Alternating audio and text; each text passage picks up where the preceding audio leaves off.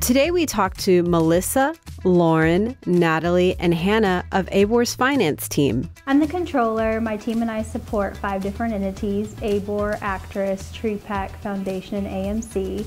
I'm also a committee liaison.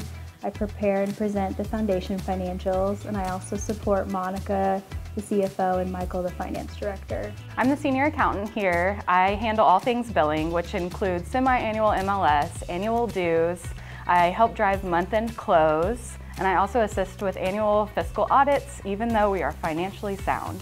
I'm the staff accountant here. Um, I mainly reconcile reports. I support with the month-end close process. Um, I manage accounts payable. And so because of me, the lights get to stay on here at ABOR.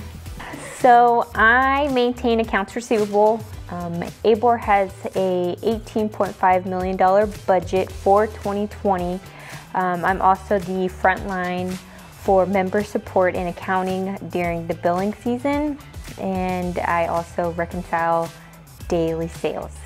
So since you're new here, Hannah, what's your favorite part about ABOR so far?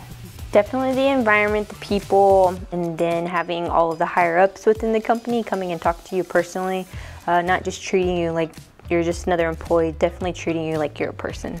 I would say I really appreciate ABOR's work-life balance here, um, and not only do they care about us, but they care about the members the same way, making sure they're happy, we're happy. Really, it's just a great environment to work in.